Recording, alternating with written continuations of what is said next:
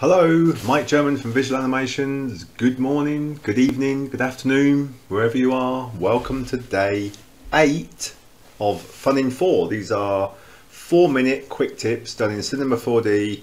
Um, I've done seven. We're doing the whole of March, so there'll be 31 in total, covering all sorts of different techniques. Trying to use most of the fun, brilliant bits that cinema has over these 31 videos. So we're here on Tuesday, day 8, and today, quite different from the ones we've done before, because I want these to be different. I don't want to have the same one every day, the same type every day. So this is another completely different style. And this, I'll just run this and show you what we're doing. So this is a as you can see a living room scene. And it has a TV on the wall with a movie playing.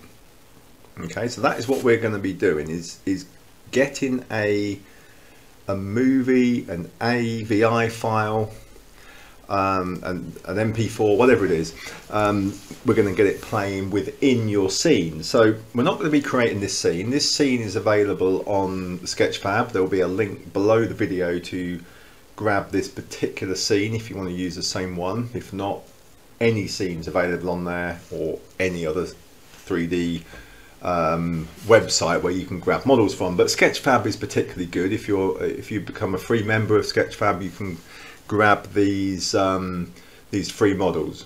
There, there are paid ones on there and there are free ones. And especially if you're learning, training, great just go and grab one of these free ones and use at home and, and practice with. So link below the video to this.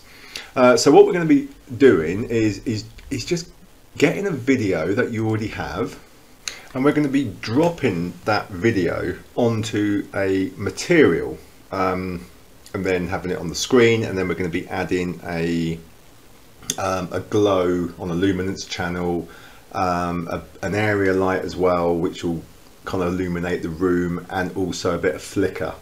So quite a few things to do. So I'm going to start with this before we do the four minutes. Did I? No, it wasn't, was it? Yesterday's wasn't four minutes either.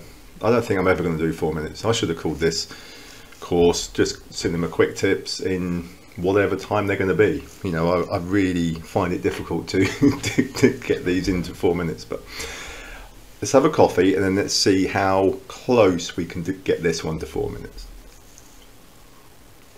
Okay, let's start. So what we do is we close this and here is our scene. Right, and we need to add a TV working to this TV on the wall here. So how do we do it?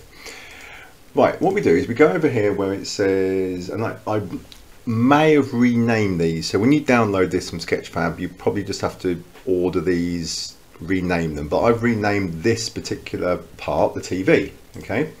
Um, then what you need to do is when you've got the TV highlighted, click on the center panel, okay, because this is the bit where the where the text is going to be added to, okay. Now, what you can do, just before we do the texture, I'll just show you, if you take any one of these materials here, and if we drag it to that area and let go, that will give us the place where we want the screen, you know, where we want, where we want the, sorry, I can't talk, where we want the movie to play. Okay, so just undo that. But that's, that's just to really highlight where it's going. So we need to create a movie material. Quite easily what we do is we just go to the plus here. So we get a blank material. And then we go here and we turn off color and reflectance and we turn on luminance and glow. Now on the luminance channel under texture we need to navigate to um, an AVI file, an MP4, something like that. Something you've probably got on your phone or stored on your computer, something that you can use as a, as a movie. You can even make one in cinema, which is what I'm going to do here, is what I've done, is made one in cinema and I'm going to use it on the screen on here. So if I go let's go back to some little films I've made. Let's have a look at a Star Wars film. Um, short films. Let's just put this trench run um, film that I've done. So let's drop that in the path. So that's now made, if you have a look up here, that's made this um, texture, sorry, texture, um, material using the movie clip.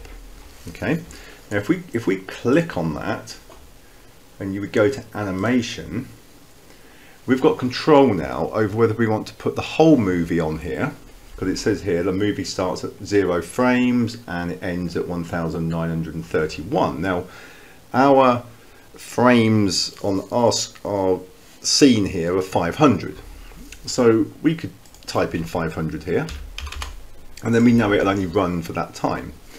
Um, you can do all sorts here. You can loop and ping pong the images so if you've got quite a short little clip or something you can have it looping or you can have it going to the end and going backwards and forwards or you can just have it running normally. So you've got a little bit of control here. Um, you can type in the frames, the seconds, the range, everything. But this is created a, a, a material with a video on there. So it's really super cool. It's a super um, little feature. Because now we've got that, um, let's just go back to so yeah, that's on the luminance channel, and then we've got the glow. Now the glow will just give it a little bit of kind of fuzziness and glow to the edges. Um, we can up the random, which will just kind of flicker a little bit here, but that's not where we're getting the main flicker from. So just put that in there, probably put some frequency in as well, up that, probably the same. And all we do now, now we've got the texture, we can just, now this is already highlighted, what we did before, we can just drag that onto there okay? And as you can see it's already in position. Now you may now if I just play this through and then just do a quick screen render.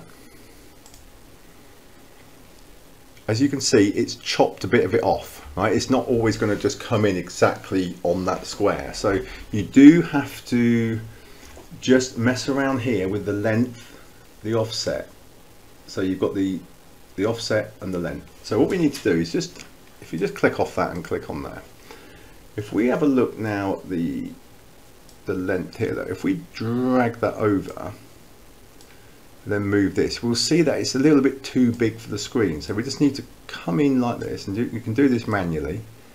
And we just want that to be, can actually do it easier, I suppose, if we look straight on at it.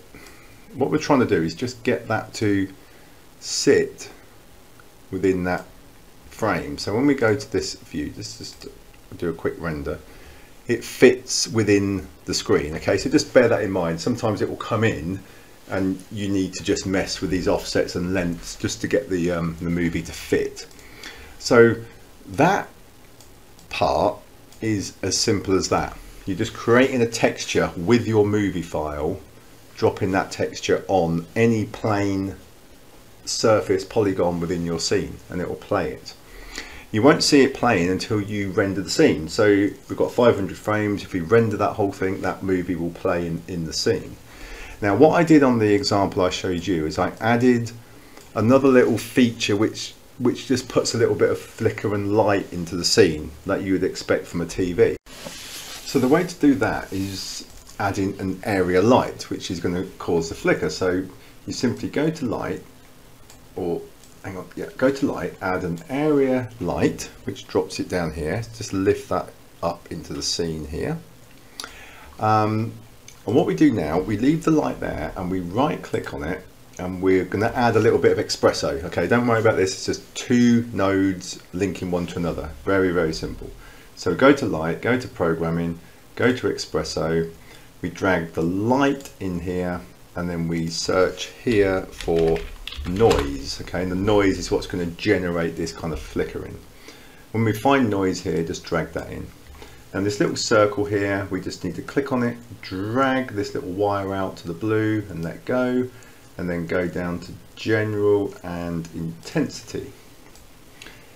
And on here you'll see the noise operator which is opened now we need to just put in a figure of say 10 for frequency, that'll be how much it flickers um, to match the TV, uh, kind of similar to the TV style. And then the amplitude, I would say about 5. and then also check this positive only so it only gets brighter and it doesn't get um, dimmer through the scene. Okay, on the not on the area light, sorry, if we go to details, um, we're on rectangle, it's fine. We go to fall off here and choose inverse square, and then let's take that down to about 50 so it's not going to be too bright in the scene. Now, if we just have a quick um, render of that, I just want to see if we've got. Okay, let's just try a few frames. Let's just render it out a bit longer because you have to have it render out so you can see how the flicker's working. If you just do one snapshot, you're not really going to see that. But if you let, if we let this render for a bit, it should be quick. I mean, obviously I've gone over four minutes again, um, but I just want to show you what happens here if uh, with this light flickering with the Xpresso tag on it. It will give you a sense that the TV is actually illuminating the light into the room. I don't know if we've got enough here. Let's just rewind it and just see what it's doing. Yeah, you can see that effect on there. If we leave it a bit longer, you'll see. But what, what it's doing is it's just in, it's just flickering this area light around in the room. Okay, so it's going say 100%, 150, dropping down between up to 200, 300, and it's just varying, which is kind of it's not what the TV is actually emitting, but it, it's fooling the eye to say that's kind of what you'd expect in a room with a TV on. Um, so it's doing that look okay and you can see it on the sofa because it's got this kind of um, reflectance material on there and it gives you that kind of feel okay? Play around with that um, until you get the right feel from the TV but I hope this has been useful. I'm sorry again it's gone over four minutes. I really don't know why I've called the feature four minute um, quick tips. Um, I'll see you tomorrow. What are we up to now? Are we on are we on day nine or ten? I'm, I'm, losing track. I'm by the end on day 31, I think I'm going to be exhausted.